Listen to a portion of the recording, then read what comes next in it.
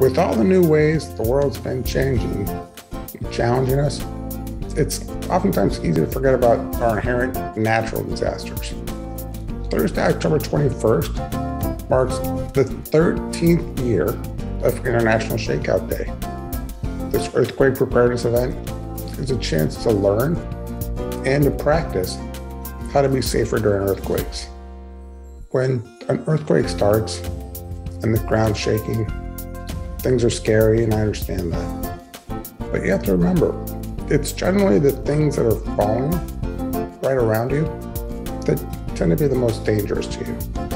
So the safest course of action is to drop, cover, and hold.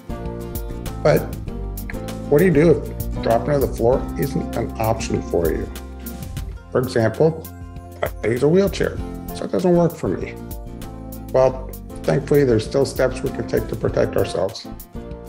If you cannot drop to the ground, try to remain seated so you don't get knocked over or knocked down. If you are in a wheelchair, lock your wheels, cover, protect your head and your neck, and hold on until the shaking stops. So again, you want to lock, cover, and hold on. Practice your lock, cover, and hold in the Great Shakeout Drill on October 21st. Visit www.shakeout.org for more